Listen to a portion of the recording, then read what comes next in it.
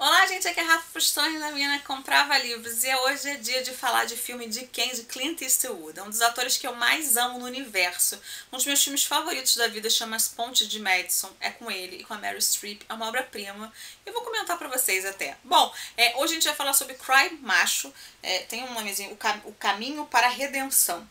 É, é, um filme atual, né? Um filme que vai ser lançado agora nos cinemas. Eu tive a oportunidade de assistir em cabine de imprensa. Inclusive, a minha paixão por esse filme é tão grande. Eu não tô pegando, por causa não tem nem a segunda dose, então eu não tô pegando o transporte público. E aí, pra pegar Uber pra esse local que foi essa cabine, era muito longe.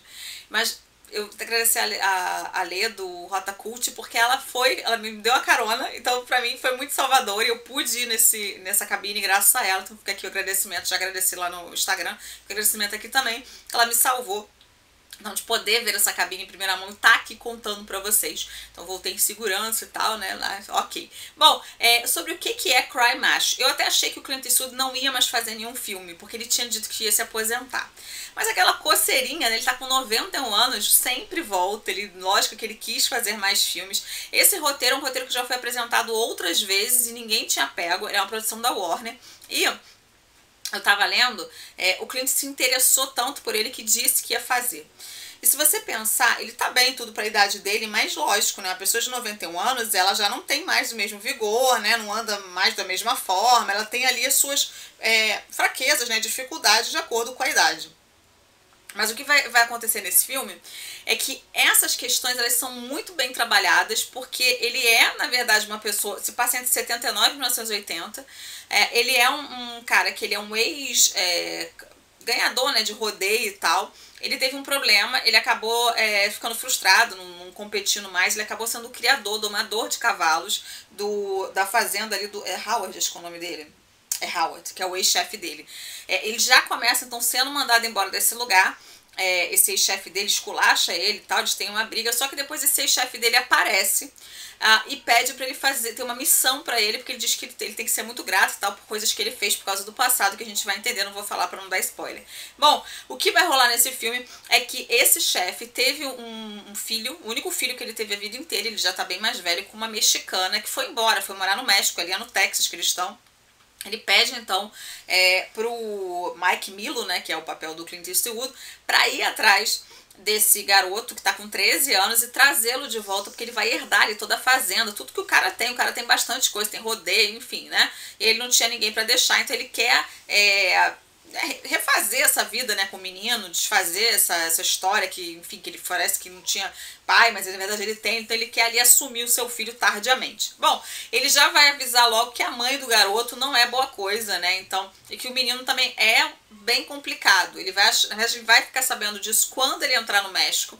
É, tem algumas umas cenas de alívio cômico, né, que a gente ri, assim, porque realmente tem umas situações ali pela idade dele, é, enfim, até a questão mesmo entre México e Estados Unidos, algumas falas, alguns diálogos que são muito inteligentes e que fazem a gente meio que. Porque é um drama, na verdade, né, gente? Não é assim uma romance, uma coisa. Mas tem Sim, algumas cenas de romance que são bem feitas. Bom, lá quando ele chega no México, ele não vai conseguir de primeira, né, é, achar esse rapaz, mas ele vai achá-lo depois e vai tentar então atravessar, mas de uma forma que ele precisa se esconder ali das autoridades.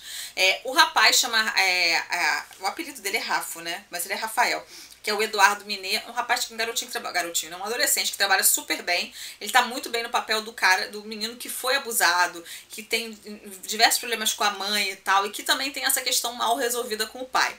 Bom, como o roteiro é muito bacana, a gente vai ali sentir uma conexão desses dois. Vai ter uma questão com a palavra macho, né, que é o nome do galo de briga que ele tem o tempo todo com ele. Então, apesar do Clint Eastwood ter construído né, essa fama em cima da masculinidade, do machismo e tudo, ele quebra bastante isso nesse filme, é, falando frases para esse menino que realmente é, cortam, né, saem por terra tudo que ele fez ali na sua carreira. A gente entende que são anos muito anteriores e cujos pensamentos são diferentes referentes a isso, graças a Deus. Bom, ele vai conhecer também a Marta, né? É, a Marta acho que já teve efeito colateral, já vi essa atriz em outros filmes. É, e ela é uma mexicana, ela é dona de um restaurante, então também vai ter essa questão ali, né, dele redescobrir gostar de alguém, uh, ter interesse e tal. E que nunca é tarde, né? Afinal de contas, ele é uma pessoa muito idosa ali, mas ele não, não tá vivo, né? Então, enquanto tá vivo, dá pra, pra viver ali um romance, um amor e tudo. Mas não é exatamente o foco do filme. O foco do filme é exatamente essas questões da amizade, né? Da divisa ali do, do Estados Unidos com o México, né? E essa questão também da idade dele, de tudo que ele passou e tudo do que ele pretende ainda fazer, é, como é que vai terminar ali a vida dele, né? Os últimos dias dele, sendo que ele não sabe se são os últimos, né? Se vai viver mais 10 anos, 8 anos, 5 anos, 1 ano, a gente realmente não sabe. Eu gostei muito do filme, gostei da fotografia. Acho que o Clint Eastwood é um gigante em cena, então assim, fica muito difícil, por mais que a gente fale, poxa, mas ele tá muito idoso, né? Às vezes a gente vê ali que ele tá de caminhando com dificuldade, algumas cenas parecem muito surreais para uma pessoa da idade dele, mas mesmo assim é um filme muito bom. Eu vou dar nota de muito bom, porque realmente eu gostei bastante desse filme e eu super indico para vocês, ele vai estrear nos cinemas essa semana, então eu vou colocar todas as informações aqui na caixa de descrição. Se vocês gostaram desse vídeo, não esquece de deixar o seu like e de comentar aqui embaixo se vocês concordam ou não comigo, né? Se vocês já assistiram, se pretendem assistir, é sempre muito bacana conversar com vocês. Um beijo grande, eu vou ficando por aqui, até o próximo vídeo, pessoal. Tchau, tchau.